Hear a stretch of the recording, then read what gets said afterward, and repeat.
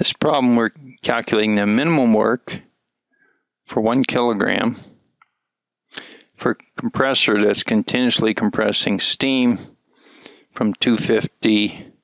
So we're starting at 250 C and 0.2 megapascals and we want to compress it up to 0.7 megapascals and some temperature T2 doing it adiabatically the minimum work would be if it's reversible.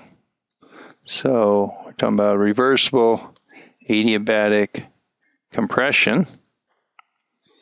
And so we can use the steam tables to look up our initial conditions, H1 2971, and likewise the initial entropy.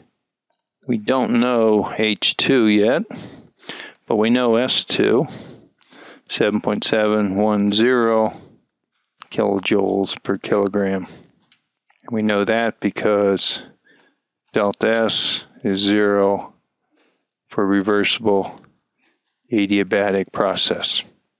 So now we have two properties. We have the pressure and we have the entropy for steam. That's all we need to completely determine the state. So from the steam tables, we can find at that pressure what's the temperature where the entropy is 7.71. And turns out that's 425 degrees C which means then we can look up in that same steam tables what's the enthalpy.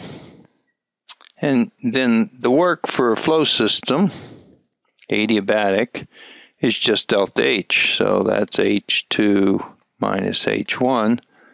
So the work is the final enthalpy minus the initial, the incoming enthalpy work 351 or approximately 350 kilojoules per kilogram. That's the minimum work. It's positive, so that's a check since we're adding work to the system.